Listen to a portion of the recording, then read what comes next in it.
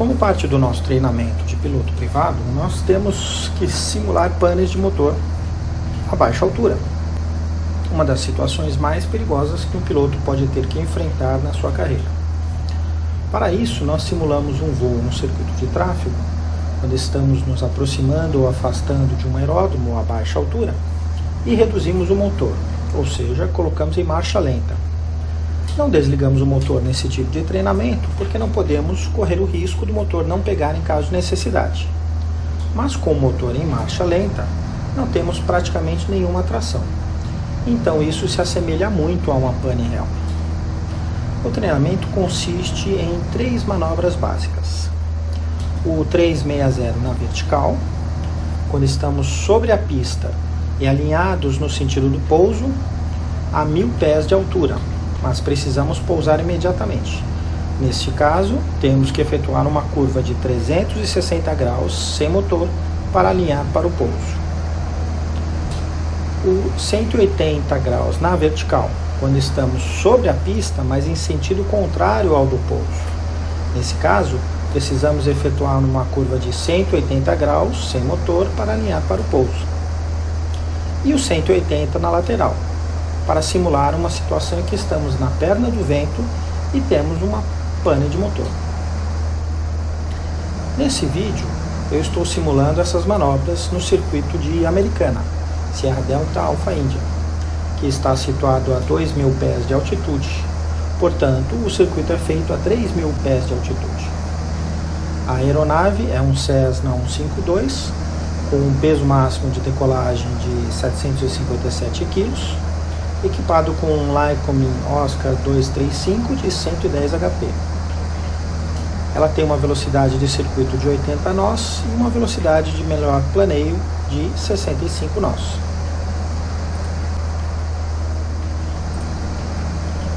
Lembrando que as velocidades que aparecem na tela estão em milhas por hora, ou seja, são cerca de 15% superiores às equivalentes em nós. Na tela, você vai ver a informação de GPS. No canto superior esquerdo, a ground speed, no canto superior direito, o caminho percorrido e no canto inferior direito, a minha altitude. Nesse vídeo, eu vou mostrar o 360 na vertical e depois o 180 na lateral. Nesse ponto, eu estou sobre a cabeceira em uso, no sentido do pouso, a mil pés de altura. Reduzi o motor iniciei uma curva para a esquerda, buscando a minha velocidade de melhor planeio de 65 nós. Faço uma curva de 135 graus e alinho para me afastar da pista e ter visibilidade sobre a mesma. Depois de perder cerca de 500 pés, eu inicio a curva para trazer a aeronave de volta para o alinhamento e para o pouso. É importante mencionar que todo o voo é feito sem flaps. Apenas com o pouso garantido eu baixo os flaps conforme a necessidade.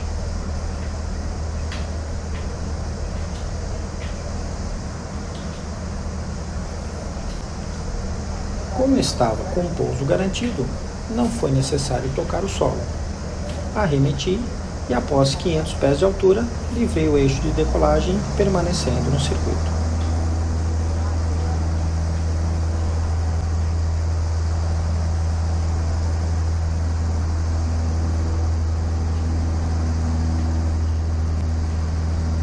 Nessa segunda simulação, eu vou fazer o 180 na lateral. Tenho que reduzir o motor no través da cabeceira em uso simulando uma pane na perna do vento.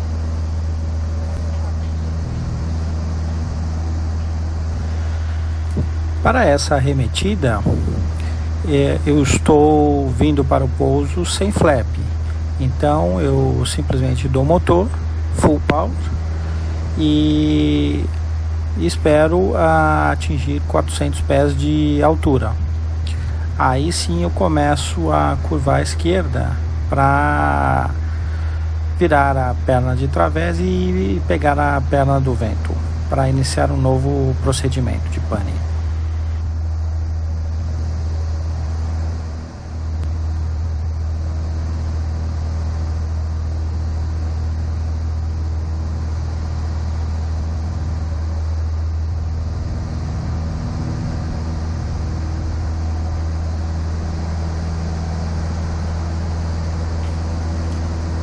Aí está. Nesse ponto eu reduzi o motor. Nesse momento eu inicio uma curva lenta para trazer a aeronave para o alinhamento. Não posso esticar muito a perna base. É melhor estar alinhado na final, mesmo que eu esteja alto, e ter que glissar ou simplesmente ap aplicar full flap para descer do que não conseguir chegar à pista.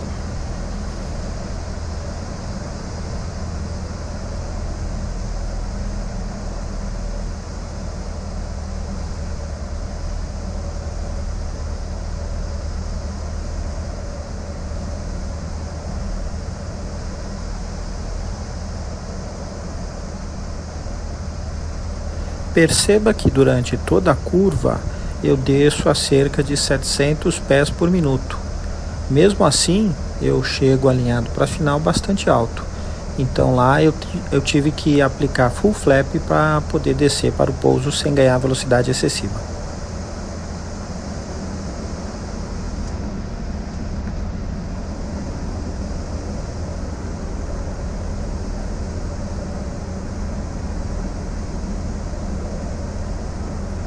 Novamente arremeti antes de tocar, porque eu já estava com um pouso garantido.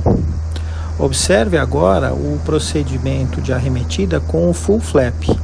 Primeiro damos full power e quando temos o positive rate, aí sim eu começo a reduzir o flap gradativamente.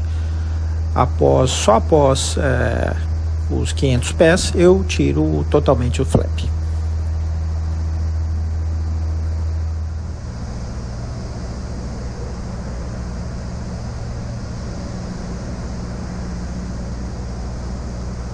Agora eu vou efetuar um pouso normal com o flap 10. Então eu reduzo o RPM para 1800 RPM e busco uma taxa de descida de 500 pés por minuto. Faço uma curva bem suave e procuro o alinhamento da pista. Vocês vão ver que com essa condição é praticamente impossível perder a pista com o Cessna 152 e dá para efetuar um pouso bem suave no final praticamente sem usar os freios.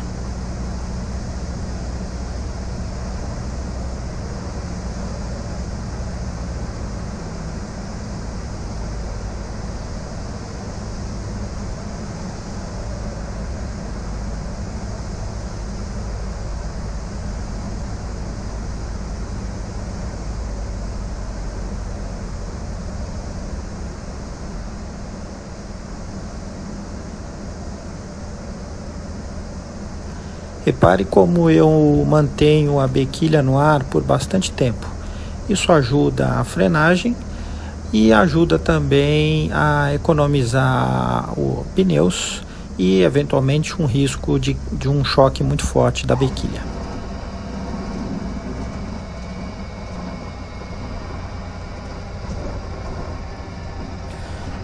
É isso aí. Se gostou, não esqueça de deixar o seu like e compartilhar esse vídeo com seus amigos. E bora voar, pessoal!